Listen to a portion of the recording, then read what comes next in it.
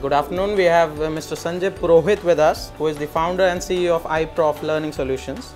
Uh, thank you for joining us, Mr. Sanjay. And uh, we would like to ask, like, what is the core value proposition of iProf Learning? iProf Learning has two components. One, where we connect publishers with the school.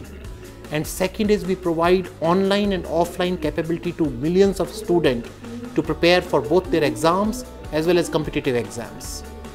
So, so who are you targeting basically? Who is the target audience? Our main target is K-12 student as well as those students who are preparing for competitive exams. But they don't have capability to come to Delhi or Kota and they want to prepare at home.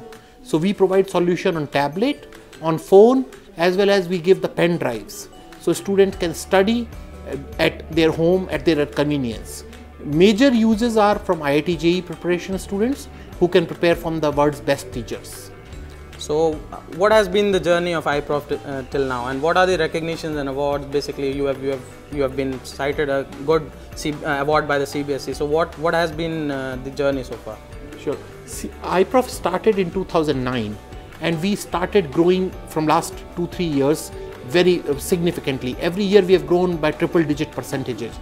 Last year, CBSE awarded us the contract to deploy our, our product Schoolera in 15,000 schools for about one and a half crore students.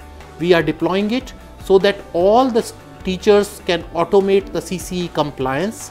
Student can use the world-class education material uh, from audio-visual manner as well as uh, the school principals can get rid of all the headache which are there for related to gradebook submission and interaction with CBSE.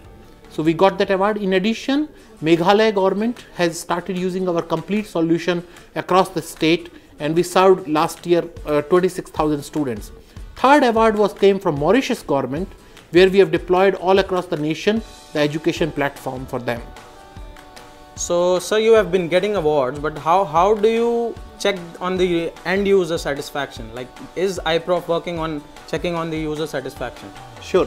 Uh, our user satisfaction level is very high. We continuously in touch with them, both online as well as through our call centers. And our, our uh, the uh, the best part is these students have never called us and asked how to use it. We had set up a call center which works 24/7, but these students have found our solution so easy to use that none of them ever reached us and say how to use it, and that shows that they are highly satisfied. Great. So tell us tell us about your team. How how big is the team and who do you have supporting you in this initiative? Sure. Presently, we are about 250 people, and we we have recently raised 55 crore rupees through our Series B funding, which was a public knowledge.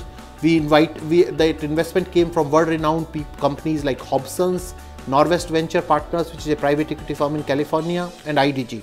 Now this 55 crore rupees I'm going to use to increase the company's size both domestically as well as internationally in various other countries. So where do you see iProf in the next 12 months basically, or, or 18 months? The biggest goal we have is to reach 10,000 schools in next 12 to 18 months. We'll be using uh, our sales force to reach that. We'll also be present in Singapore and in um, Middle East. So, so what are your views about the education technology sector and its growth in India basically? I am very excited. Education technology is growing very fast and I expect that growth to continue for long time to come.